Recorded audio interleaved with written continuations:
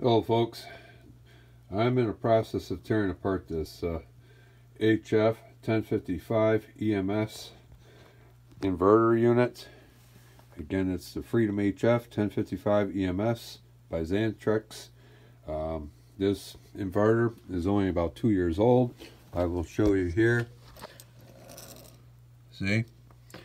And it's already broken. So that's got to tell you something about the company.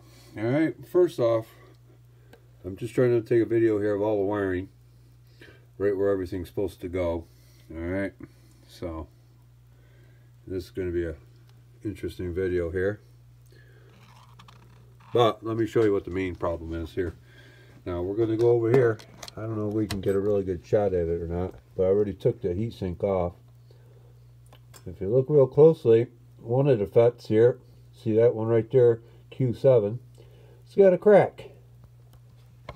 And if we go over here, some of the other ones too, here, it's hard to see, but yeah. Right on in there. And it's that same side, left side one. So they're probably tied together. But anyways, that's the problem you know, with this potential unit. And being that the display did not come on, the status light would only come on.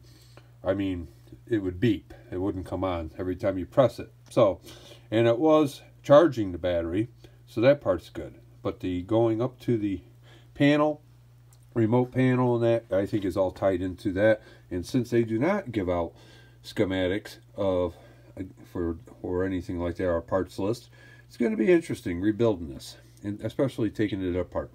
So anyways, folks, there you go. If you're thinking about buying one of these, well, take it from me. It's uh, Here's a unit that's less than two years old and it's already blew up. Well, it should be made a lot better than what it is. Thank you for watching. As everything that you've seen has just been my opinion and my opinion only. Thank you very much for watching again.